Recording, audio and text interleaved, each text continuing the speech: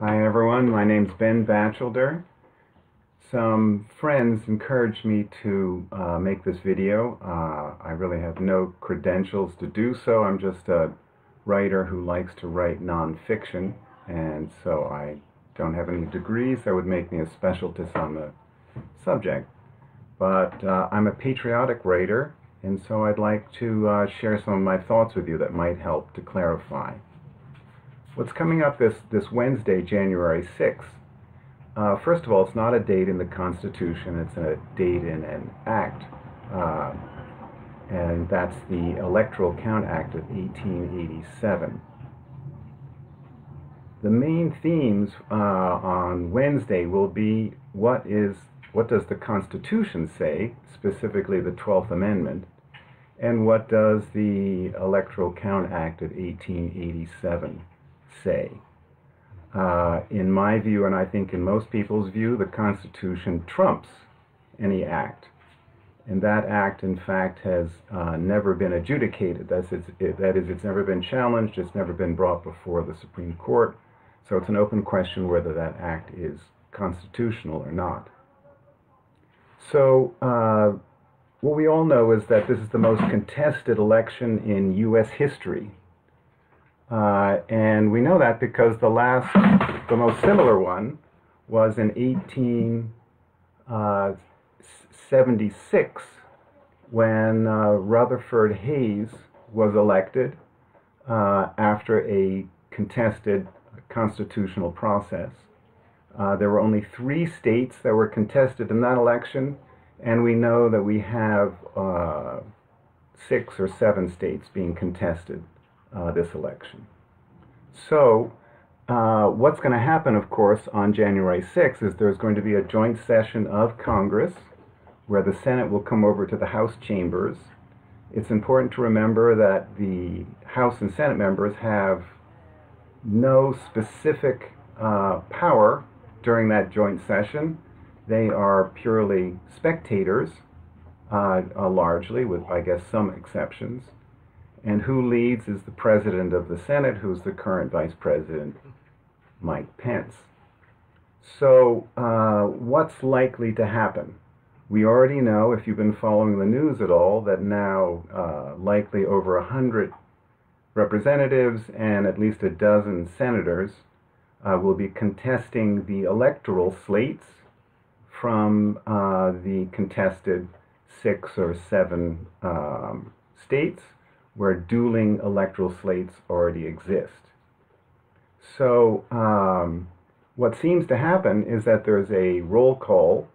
Uh, the 12th Amendment really gives all of the plenary power to the President of the Senate uh, to count uh, the electoral votes or the electoral slates, to open them and count them. It's actually, and I don't have the exact uh, uh, wording, but it's it's in, done in the passive voice. It's to be counted, and it seems pretty clear over history that that uh, the president of the Senate or the current vice president's power is quite large. In fact, there was an election in 1800 in which the then vice president Thomas Jefferson, uh, who was also then the president of the Senate, for this very uh, type of activity, uh, decided to, when there was a dueling slate of electors from one state, he decided to take the, I think it was four votes uh, that were for him and not for his opponent. And by taking those, uh, without any uh, ability for any of the senators or representatives present to make any kind of constitutional uh, complaint, he took the he did the counting, and uh, by doing it so, he was able to officially and constitutionally make himself the president. And remembering that Thomas Jefferson was a framer of the Constitution, so he probably knew what the Constitution was about uh, and what the intent of the framers was. So I think the, the easiest but not most likely uh, thing on, on uh, Wednesday, January 6th, is for, for the President of the Senate, uh, Mike Pence, to simply declare that the uh, the dueling elector slates, in his view, uh, have not been, and I don't again know the exact language, I don't recall, but they've not been legally um, uh, made those electoral slates, and that he will discard them both, uh, and thereby bringing uh, down uh, candidate Biden's uh, total to, I believe, 222, uh, and leaving President Trump's at 235, if I remember the numbers. Now, that, that obviously would, would uh, not be well received by uh, Biden supporters, but would it be constitutional? It looks like. Remember Thomas Jefferson, and remember that the Electoral Count Act of 1887 has never been adjudicated. So uh, Mike Pence could potentially even say that, in his view, uh, that is an unconstitutional act uh, and that he will go ahead and use his clear constitutional powers. But that seems unlikely. That would be the cleanest, uh, easiest way to go, uh, potentially even before um, a lot of counting goes on or contesting. But what seems more likely is that the roll call will take place uh, and that when you get, it goes alphabetically, and when you get to Arizona, we now know that there will be, uh, it has to be done in writing, written uh, contestations from at least one senator and one representative. How that proceeds is, is will be an interesting question. There's very good historic legal uh, argument that uh, every single elector, who's an actual person, uh, be contested and according to the uh, Electoral Count Act of 1887, uh, uh, one, one, every uh, valid contest needs to be debated for two hours by the respective bodies. Or, in other words, the Senate retreats to its chambers or House and debates for two hours and, and votes, and then comes back with the result of those votes. Now, it's not quite clear uh, uh, uh, exactly how those votes work uh, and whether or not um, it's a, a simple vote, one senator, uh, one vote, one representative, one vote, or uh, the possibility of what eventually happens according to the 12th Amendment is that in a, in a situation in which the election is contested, the House uh, does not vote by one representative, one vote. It votes by state delegation. One vote per state delegation. Uh, the number seems to be about 28 uh, state delegations are Republican, 21 are Democrat, with a couple of, of them are split. And so uh, it seems highly likely that uh, whatever vote goes towards a, uh, a by delegation vote of the House uh, it clearly will be a Republican win. Uh, there's another wrinkle, and that is uh, in the contested elections, uh, per the, the 12th Amendment, uh, the Senate actually votes for the vice president, and the uh, House, which is voting by the per delegation, is voting for the president. Um, now, the the question is is will would someone like Speaker Pelosi um, accept that uh, in her House as she was just narrowly reelected the Speaker, or would she claim that uh, that is not necessary and that she gets to vote one representative, one vote? Uh, there's a good argument that even if she does that, uh, let's say that after the two-hour debate on the either one elector or a slate of electors, uh, the respective houses return to the joint session with Mike Pence presiding, and he uh, asks uh, what were the results of those votes. And let's say the Senate um, voted against the Biden slate for the vice president or voted against Harris, or the Harris electors. and over on the House, Pelosi says, well, they, they didn't contest, so they voted for the uh, Democrat or the Biden uh, electors from that state. Uh, there seems to be the possibility that that Kevin McCarthy could say, no, uh, we actually, and and uh, Mike Pence could ask, um, and and is that the final word from the House? And, and Kevin McCarthy might say, no, no, sir. Uh, we we did a vote by per delegation as well, uh, and the results are different.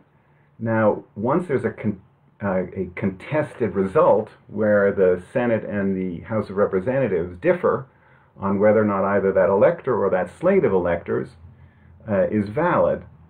Um, per the 12th Amendment, it would be quite simple that the President of the Senate uh, uh, uh decides uh, which, which he deems valid. And that goes back to the, the first pass. So the, the, the President of the Senate at that point could say, uh, I believe that the House is correct, I believe that the Senate is correct, or it could say this was clearly a fraudulent election, uh, and that the the electors were not duly certified, uh, correctly certified, and would throw out uh, the both slates for that state. Um, that is that is one potential path, uh, and and uh, and you go on from there. So uh, what we're looking at is that if the um, if it goes down the path of counting per state and, and here's a proviso that if um, the contestation is against per elector, you're then talking about over 80 electors, two hours of debate each, uh, and this would allow for perhaps a week of debate, uh, which could be well uh, used by, by the Republicans uh, and Trump's legal team uh, in order to prevent the, uh, present the evidence which has been so egregiously denied the American people by the judicial system and even uh, pr- principally in the judicial system, but clearly by the legacy media and so on. And so uh, that that could uh, mean that we go, out, in fact, for many days rather than just January 6th, uh, and we're, we're in for an interesting ride uh, a question comes up, and what about the Ted Cruz uh, proposal that uh, essentially we follow what was done during the last uh, uh, gravely contested uh, election, and that is he's he's suggesting that he will not he will he will contest unless there is a 10 day emergency audit declared or, or uh, via a special electoral commission, which is what happened back in 1876. Uh, and uh, clearly, that's not going to be voted on in the next several days uh, or accepted. Uh, but we'll see. I, I, think it's a clever uh, maneuver to put um, to put McConnell uh, in a hard place because right now McConnell uh, seems to be the leader of the Surrender Caucus along with Senator John Thune. Uh, and if they lose most of the their members uh, to Cruz's uh, what seems like quite a fair, anyone interested in election integrity uh, really couldn't couldn't be against a 10-day emergency audit in those contested states uh, at the end of which the, the results uh, of that audit from the, this election committee are presented to uh, both the Congress and to the state legislatures, and the state legislatures are then asked to reevaluate whether they believe they certified correctly or incorrectly, and thereby decertify and certify correctly afterwards. So uh, that seems like a pretty fair uh, way to resolve, which is by which is only the most contested election in U.S. history.